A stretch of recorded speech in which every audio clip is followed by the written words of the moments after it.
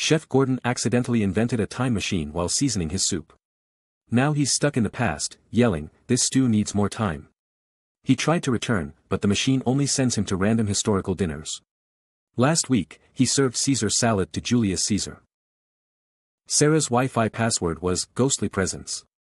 She wondered why her router kept whispering, connect, or else. One night, it sent her an eerie message, your Netflix subscription expires at midnight. Renew or face spectral consequences.